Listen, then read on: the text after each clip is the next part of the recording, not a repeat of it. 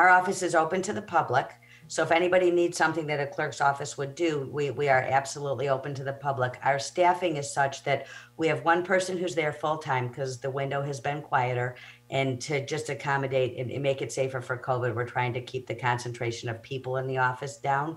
So we're going in on an as needed basis, but there is at least one person there, if not more, at all times. And, and, and the phones are answered during normal business hours. We are doing business in the clerk's office, open for business to, for, for walk-in, available for calls and any of the processes that we normally would be doing are, you know, available.